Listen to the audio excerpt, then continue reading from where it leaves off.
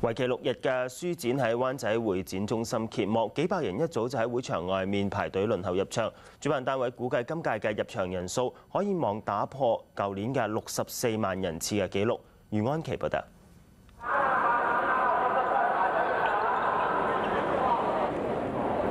大批市民一早就嚟排隊等候。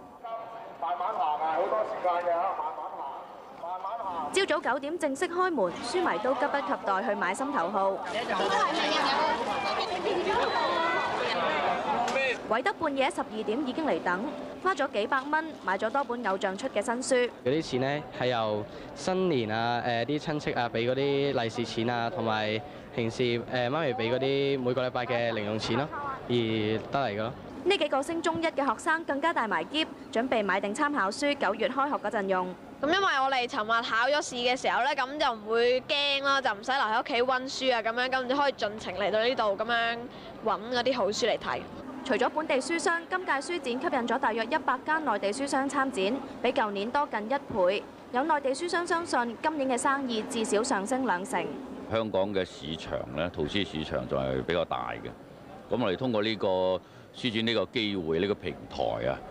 嚟好好做啲銷售活動啦。成個書展分別喺四個展覽館舉行，其中一個係專為小朋友而設嘅兒童天地，唔少家長都帶埋仔女嚟睇。書展由星期三起一連六日喺會展舉行，今年一共有四百幾間機構參展，比舊年多近一成，展出過萬種刊物。亞洲電視記者余安琪報道。為期六日嘅書展，每日都有一個環節俾書迷同一啲名人交流讀書嘅心得。今日就請嚟行政長官曾蔭權為一班小朋友講故事。咁到底曾蔭權講啲乜嘢故事呢？由余安琪講下。好唔準成嘅。呢件事曾蔭權二十幾年嚟都冇做過，就係同小朋友講古仔。聽眾係呢二十個小學生。我日常工作嗰啲見真都係好大個嘅，個個同我講啲嘢就好嚴肅嘅。咁但係你要知道咧，就我冇講故事好耐啦。如果我覺得有酸嗰陣時，你唔好笑咁大聲喎，好唔好啊？曾蔭權講嘅古仔係喺蘇格蘭一個小島上，一個男人強行留低海豹做妻子，仲生埋仔女。但係海豹隨後翻返大海，結果家庭破裂。社會點樣能夠更加好咧？家庭更加好咧？用呢啲咁嘅方法處理，更加會妥妥善都未定啦。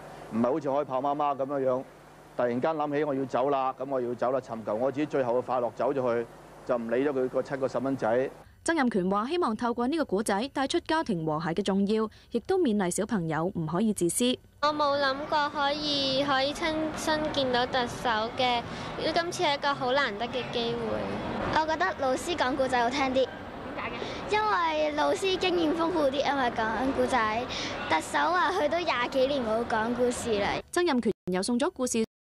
書同埋海豹公仔俾呢班小朋友，希望佢哋謹記故事嘅教訓。